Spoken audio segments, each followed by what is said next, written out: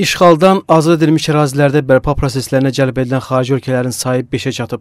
Macarıstanın da azad edilmiş ərazilərdə bərpa prosesinə qoşulması dost ölkələrlə iqtisadi əlaqələrin inkişafının göstəricisidir.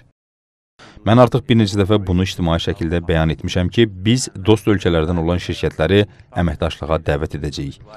Macarıstan Azərbaycanın ən yaxın dostlarındandır. Əminəm ki, Macarıstan şirkətlərinin də azad edilmiş ərazilərdə bizimlə birlikdə çalışmaqla bağlı çoxlu imkanlar olacaq. Digər sahələrdə də imkanlar mövcuddur.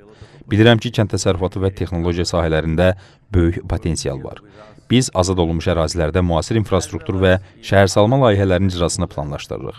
Beləliklə görüləcək işlərin həcmi böyükdür. Bayaq xatırlatdığımız kimi Macarıstanla yanaşı bir neçə ölkə də Azərbaycanda azad edilmiş ərazilərin bərpası prosesində iştirak edir. Ümumilikdə isə həmin ölkələrin şirkətlərinin hər biri öz istiqaməti üzrə dünyada seçilən kompaniyalardandır.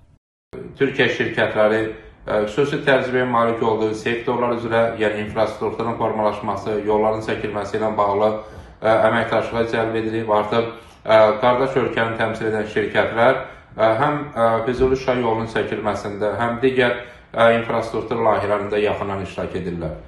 İtaliya həm ənənəvi, eyni zamanda alternativ enerji istehsalında xüsusi təcrübəyə malikdir. Bu baxımdan da İtaliya şirkətləri məhz enerji istehsalında, istehsalına cümlədən stansiyaların qurulmasına cəlb edilir və bu istiqamətdə əməkdaşlıq davam etdirilir. Eyni zamanda digər bir sıra tərəfdaş ölkələrlə də bu istiqamətdə əməkdaşlığın davam etdiriləcəyi gözlənilir. Belə ki, Avropa Birliyini təmsil edən digər ölkə Macarıstan da bərpa və yenidən qurma prosesində iştiraka dəvət olunub.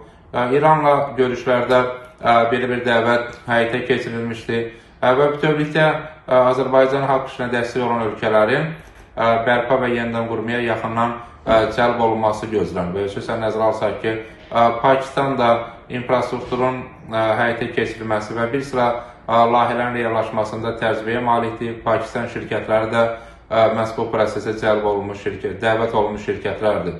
Macarıstanın aqrar planlaşdırma, kənd sərvətinin inkişafı ilə bağlı xüsusi təcrübəsi var.